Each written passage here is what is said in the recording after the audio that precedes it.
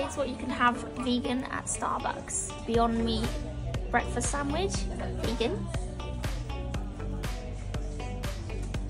Hmm. Show us the cross section.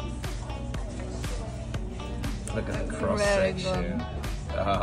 That's at least a 9 out of 10. Pink coconut refresher. Oh, Straight out of heaven, that's 10 out of 10. We got coconut collab yogurt. I like to mix it in, you know. that's blasphemy.